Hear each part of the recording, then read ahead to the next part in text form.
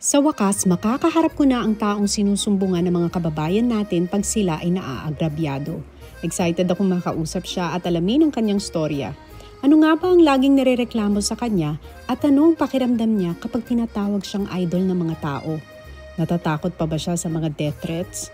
At syempre, nagkaalaman na rin kung sino nga ba ang mas maganda sa amin ni Alex sa personal.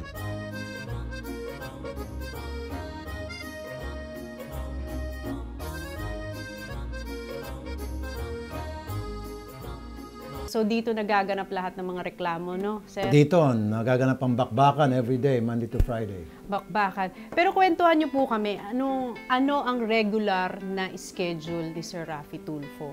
Well, I start my day really uh, 6 a.m.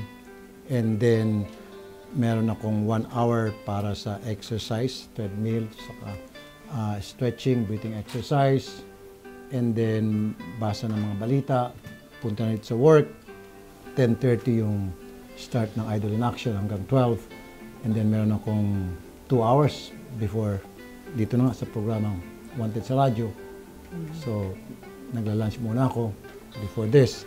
After that, matatapos ako ng 4 and meron akong 1 and a half hours para mag-prepare para sa news. Yes. And then after the news, balik ako sa bahay. I go to bed mga 11.30. Tapos, you'll do it all over again. All over again. Monday to Friday. Every day. Kahit may pandemic, parang yung schedule niyo po hindi nagbago, no? So Yes. you work po seven days a week o may, may Ah. off kayo? Meron naman off uh, Saturday, Sunday. Yan ang time niyo with your family. Correct. Basta't yung Sunday, yun talaga nakalaan para sa family, family day. How many years na nga po kayo sa inyong trabaho? Mga 24. 24 years Taka, na parang natin. nahalata tuloy, matanda na ako. 24 years na po nating kilala si Sir Rafi Tulfo in action and doing public service and on TV and on radio. Pero parang napakaliit ng kaalaman natin tungkol sa kanyang buhay. Kasi nabasa ko po, taga Davao po pala kayo. yung uh, mother ko is from Davao Oriental at yung father ko from Batak, Ilocos uh, Norte. Saan po kayo lumaki? Palipat-lipat kasi military yung father ko. So kung na, saan na-assign yung father namin, eh doon kami. Pero in my case, ako, dahil akong pinakamahirap sa magkakapatid, nung bata pa kami, kasi sampu kami. Saan po kayo? Ten. Yeah, and then ako is pang walo. So ako yung medyo nakakalimutan, napapabayaan. Kaya bukod sa palipat-lipat yung family namin, ako rin nililipat-lipat. So pupunta sa kamag-anak para paaralin. Ah, ganun So po kung ilang kayo. kamag-anak na nagpaaral sa akin. So nung bata po kayo, ano naman ang pangarap nyo? Nung maliit pa talaga ako, ang pangarap ko ay maging uh, newscaster. Ah, matatandaan ko, pag meron ako nakikitang dyaryo, kukunin ko at babasahin ko. That's because yung kapatid namin, si Kuya Mon, at that time, nalilinya na sa radyo. Announcer na siya. So, meron na siyang, nakikita ko yung kapatid ko na nagbabasa ng dyaryo at napapakinggan namin sa radyo. Ginagaya namin. And then hanggang sa nung high school ako, matatandaan ko, pinagtatawanan ako ng mga classmate ko. Ah, akala nila may sira na ako sa ulo. Bakit? Kasi ginagaya ko yung mga disc jockey sa radio. Sasalita akong ganon, din nagbabasa ako, pinagtatawanan nila ako minsan, binabatukan ako, Uy, para kami sira sa ulo. And dumating ang time ngayon, sabi nila, o nga, no, pinagtatawanan ka namin noon, ngayon, yung pangarap mo, ito na. Mm. Sabi ko, buti nga, eh, tinatawag niya akong sira ulo dahil na-challenge ako. Oh. Ngayon, napatunayan ko na hindi ako sira ulo. Dahil ito ngayon ang Yung- linya ng trabaho ninyo. Yung pangarap ba? ko lang, tinupad ko parang gano'n. Ano po yung hindi nyo malilimutang experience nyo nung bata kayo? Ah, yung palo. Pinapalo ko palagi. Yung maganda experience. So, na, naranasan nyo po yung disiplina ng mga magulang na pinapalo. Paano po kayo dinidisiplina Oh. nun? Tsinelas, sapatos, ah, palad, Mm. sinturon, Mm. tapos yung ano ng bayabas? Yung ah, stick? Stick ng bayabas. Yung Makulit po ba kayo nung bata kayo? makulit. Makulit ako na bata at ah, pasaway naman talaga in fairness. Kaya dapat na sigurong disiplinahin. Sino po pinakamatigas ang ulo sa inyo? Apat kami. O, apat po kayo. si kayo po, si Rafi, Mon, Erwin, Ben. Ben Tulfo. Sa inyo pong apat, sinong pinakamakulit ng bata kayo? Nung bata pa, yung panganay si Kuya Mon. Siya po ang pinakamakulit. Oo, siya ang pinakamakulit, sabi nung mga teacher at principal. Kayo na po, nakilala ka- kayo naman po sa school. Kamusta po kayo sa school? Average naman at uh, at the same time medyo bulakbol. Kaya hindi ako nakapagtapos ng koleyo. Ah, talaga po.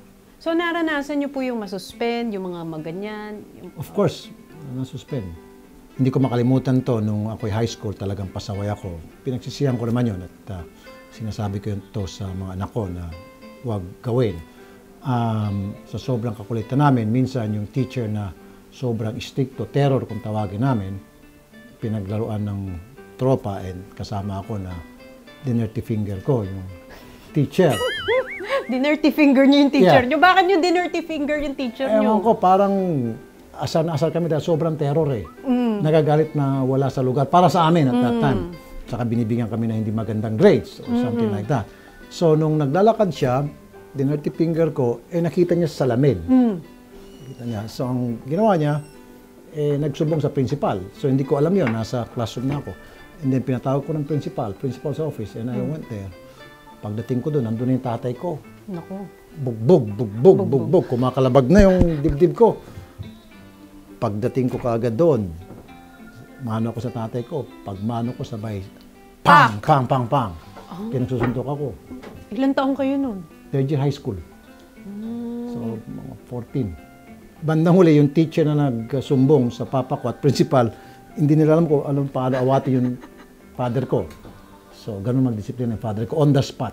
Pero yung mother ko, ang gusto para sa akin, sa amin lahat, is maging pare. Lahat ng mga lalaki, gusto ng mother namin is maging pare. So, pito kami lalaki, yung lima dyan nakatikim ng mapunta sa seminaryo. Kami lang dalawa ni Kuya Mon ang hindi nakatikim ng seminaryo. Ah, nag-seminaryo po yung lima? 1, 2, 3, 4, 5. Yung isa, ah, nandun na sa part na regency, kung tawagin, na bibigyan ka ng one year para mag-decide. Hmm. Graduate na siya kung ikaw ba talaga magpatuloy magpare o hindi. Hmm. So, ginawa nitong kapatid ko, nag-girlfriend para hindi siya matuloy. So, ibig sabihin, ayaw niya talaga maging pare. Napipilitan lang. Ganun. Si Erwin, nagpa, nag-seminaryo din. Ang pangalan kasi ng nanay niyo ay Caridad, which means charity. At Yes. sa kanya niyo po nakuha yung puso sa public service, hindi ho ba? Totoo yan. Totoo yan. Um, very generous ang mother ko. Ah, palagi niyang kinikwento sa amin nung nag-aaral pa siya sa elementary. May kaya yung parents niya kasi yung lolo ko, Japanese at ah, merchant, kusyante. Ah, kumukupit siya sa kanilang tindahan para ipamigay sa kanyang mga classmate na mga mahirap. So yung kanyang baon at kung ano pa mga gamit na nakukuha niya sa tindahan, binibigay niya sa mga classmate niya. And nung tumanda na siya at ako mismo nakaka-witness, yung mga asawa ng sundalo, kasi ah, my father was an officer that time, provincial commander siya sa Buanga City, na witness talaga ng dalawang mata ko na kakainin na namin yung bigas, ibibigay pa doon sa mga sundalo sa, na mas nangangailangan. Ah, ganun po kayo lumaki na nakita Ganun niyo yung yun. mga magulang niyo na mapagbigay. Yes. Kung minsan yung mother ko, sasanla niya yung kanyang alahas para ma-share yung pera doon sa nangangailangan. Sa, sa nanay niyo po yung nakuha, yung ganong Yes. puso sa public service at pagtulong sa kapwa. Yung pagtulong, yung mamigay sa nangangailangan sa mga mahirap, nakuha namin sa mother namin. And to think, yung mother namin, medyo may kaya, ah, siya yung namimigay. Yung father namin na wala namang kaya, kuripot, hindi namimigay. Di ba? Parang balanse, eh, no? Oo, may balanse. Kung ganun sila. Isang Correct. ganun, tsaka ganun. Correct, correct. Isang galante, isang kuripot, Ilocano, yung isang Bisaya. Kaya Bisokol, ang tawag ba niyan? Bisaya na Ikol, Ilocano. Ganun po ba tawag doon? Nagsasalita po kayo ng ibang dialect? Meron ko mag-Bisaya, meron ko mag-Chabacano, of course Tagalog, and Ilocano, konti lang. Meron pa akong alam na dialect, ah, yung ah, Mandaya kung tawagin, Ano po yun? yung malalim na Bisaya sa bandang oriental ng Davao. Pwede po ba makarinig ng sample? Halimbawa, ang ganda mo naman ngayong araw na to, Tony. Paano po yun? Pag Sa Bisa- Bisaya? Oh, kung sa Bisaya, madali lang. Ah, guwapa ka, Jod, kaayo. Meron ng Jod, meron pang kaayo. Ang ganda mo talaga. Ayun yun. Okay ba yan? Oh, baka magselo si Alex. Ah, d- hindi po, parang tatanggapin niya po yun. Wala bang sibling rivalry sa inyo? wala po, wala po. Okay, Hindi po okay, uso sa amin sige. yun. Nabubuntal din po kami, so bawal din po ang mga rivalry. Ngayon po, nakaharap nyo s- ako tsaka si Alex. Kung mako-compare nyo po sa aming dalawa, sino po mas maganda sa person? Ay, syempre. Para magkaalaman na talaga. Hands down. Ano po? Siya. Joke Irereklamo lang. ko ho kayo. Magkaiba naman yung Magkaiba beauty kami niyo. ng beauty, ano? Di ba sabi ko sa'yo, Mm. catchy yung beauty mo. Yung bang pag nakita ka sa mall, mapapalingon for the second me. time. Yung... Catch me. nga, hindi. Sinasabi, kaya nga nung nakita kita kanina, sabi ko, uy, Uy. I was expecting na para magkahawig kayo ni Alex. Alex, mm. Pero, much sharper ka. Baka dahil pumipang ako. Ito po talaga ang sharp O sa dahil mas akin. Matulis na. Matulis po. Hindi, talaga joke. medyo sharp po ang features ko talaga. No, no, Ay, talaga. hindi nyo ma-miss. You, you're okay. Ah, I'm okay. okay. Yes. Pasado. Pasadong pasado para Oo. sa... Parang mas gugustuhin nyo po ako makasama sa grocery kaysa yung kapatid ko. Ay, siyempre ikaw kasi iniskandalo ako noon. Alam nyo, napanood ko, Halos matunaw ko sa kaya noon. Ako, alam niyo yung ginagawa niya sa inyo? Oo nga. ginagawa na niya noon yun sa mami ko. Oo nga, hiyang-hiya ako noon. Pero sa kanya, relax na relax lang. Hello! Ay, Alex, wag. Sa kanya, baliwala. So, yun talagang personality. At, at doon siya nagustuhan ng mga tao. Ilan taon po kayo nung un- una kayo nagka-girlfriend? Doon, mga baka 14. 14 kayo? 14 siguro. Oh. Baka mga 13. Ah, 13? Yeah, 13 years old siguro. Tama. Paano po kayo nanligaw nun? Eh, padala, una, padala-dala ng sulat, tapos meron kang ah, pagbibigyan, and then bibigyan, bibigay dun sa girl. panahon na yun. Mm-mm. And then, bibili ka ng mga choknat. Ang malit ng chocolate. Eh, yun ang kaya ko noon eh. Ayun, kanino galing? Oh. Ayun. Tapos naging kayo po. Naging, hindi, liligaw-ligaw muna. Tapos gagawa-gawa ka ng poem. Oh, poem. Naku, sumulat Mga ng poem. Ano po mga poems ano, niyo nun? Roses are red, violets are blue, but not as pretty as you. Hindi ko makalimutan yung mga ganon. Oo. Napasagot niyo naman dahil doon. Dahil doon, lalagay ko mga matalinhaga ng mga salita. Eh, nakalimutan ko na iba. Mm. And then, sasagot din yan sa in a piece of paper. Mm. Pag nakita ko yun, uy, parang sagot na to. Lagay ko sa alam ng unan, tulog na. Nung totoo yun. Ganun, ganun yung style noon. Eh ngayon, hindi na. Wala, text-text na lang po, no? Text. Pero dahil sa social media, mas lumawak po yung audience ninyo, hindi ho ba? Tama, tama. Mas lumaki yung, yung ah, viewers, mas naging malaki yung awareness ng mga tao na merong programa na pwede nilang lapitan pag gusto nilang magsumbong, hindi ho ba? Yes, that's because of uh, Facebook and uh, YouTube. Mm-hmm. Yeah. Yun yung naging malaking factor bakit lumawak yung RTIA. Ano po yung para sa inyo, common na problema dito sa Pilipinas na laging inireklamo sa inyo? Dalawa, uh, labor and then pangalawa is family issue. Si Mr. nagloko, si Mrs. nagloko. Or yung mga anak ay pasaway. Ganon. And then yung labor naman, hindi binabayaran ng tamang pasahod yung mga manggagawa. Yan ang number one na madalas Ah, reklamo. actually, before I started yung uh, reklamo against sa mga pulis at mga barangay chairman na nambubugbog, and then later on, ito pumasok na yung mga complaints ng mga labor, ng mga Labor. manggagawa. And then nag-umpisa yung personal problems, yung OFW. Inumpisa ng mga OFW na inireklamo yung kanilang mga mister na nagluloko rito, winawaldas yung kanilang pera. Yung mga mister naman, nireklamo yung kanilang misis na OFW na nanlalaki sa abroad. So hanggang sa lumaki. Lumawak na ng lumawak po, no? right. Ano po yung pinakagusto nyo dito sa ginagawa nyo ngayon? Yung bang makakita ka everyday ng taong nagpapasalamat habang nakangiti o dili ka yung taong nagpapasalamat habang naluluha. Ang sarap nun. Sarap ng feeling. Ito siguro ang dahilan kung ba't ako nandito sa mundo. Mahirap may describe. You make a difference every day sa buhay ng mga tao.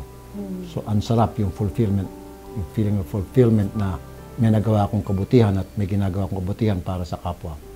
Yung nakakasolve ka ng problema, yun ang sinasabi ko, it's either ah, nagpapasalamat sila habang nakangiti o nagpapasalamat sila habang umiiyak.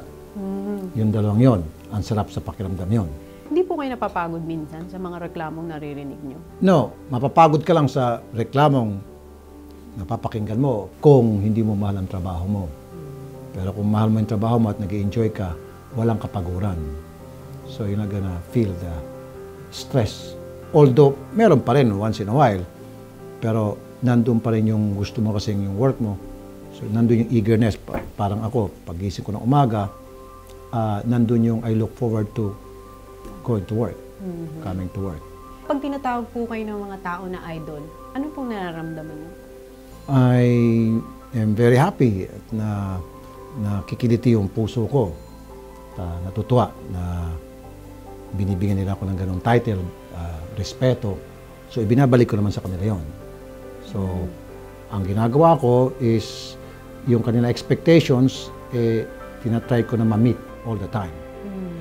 Well, siguro nakikita nila na sincere yung ah, ginagawa namin dito, sincere yung binibigyan namin tulong. So, nababasa naman yun ng mga tao, hindi naman natin pwedeng lukuhin yung taong bayan. They know kung ikaw ay nagkukunyari lang no, o ikaw ay siniseryoso mo sila. Yun. So, in our case, nakita nila na totoo nga talaga itong RTIA. So, nakakakuha po kayo ng mga death threats. Marami. Marami na ako na kuwang death threats. Sa 20 Nakatanggap. years po, di ba? Hindi ko na mabilang. Hindi po kayo natatakot sa death threats. Well, nung umpisa, natatakot ako, nininervous ako, maihi ako sa salawal ko. Tapos syempre, di ko papahalata yun nung nag-umpisa pa ako. Pero ngayon, wala na. Eh, sanay na ako, kumbaga, manhid na eh. Yung mukha ko, kumapal na at sa balat ko, kahit na ano pang insultong gagawin sa akin o anong klaseng pananakot, hindi na tumatalang. Si Sir Rafi Tulfo, eh, walang kinatatakutan. Hindi ka matatakot dahil, may dahilan, dahil in my case, eh, gusto ko ipagtanggol yung mga taong inaapi, inagrabyado. So, nandun yung galit mo, yung adrenaline mo, na gusto mong matulungan yung taong kinakawawa. So, gagawin mo lahat.